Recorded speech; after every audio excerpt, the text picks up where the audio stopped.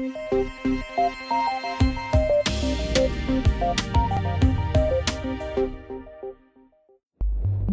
Growing vegetables in the desert, this unique indoor farm in South Australia produces 17 million kilos of tomatoes a year, accounting for approximately 15% of the country's entire tomato market. Danish renewable energy specialist Aalborg CSP has developed a customized energy system based on concentrated solar power technology. It's drawn enormous interest in green projects that can answer local energy needs, for example, for greenhouses. The integrated energy system harnesses the sun in the most efficient way to satisfy multiple energy demands. Traditionally, solar based energy solutions either create electricity or heat.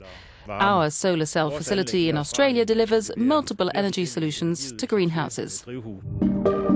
Computer controlled mirrors collect the sun's rays and reflect them onto a high solar tower. The concentration of energy generates high temperatures, which are then used to heat the greenhouses in wintertime, provide fresh water by desalinating seawater, and periodically run a turbine to produce electricity. We feel like we're real pioneers in finding efficient energy solutions based on solar energy. While it might be a solution particularly fit for areas with little access to water or energy, more studies are needed to evaluate its impact on the natural environment and how to bring down the facility's high building cost.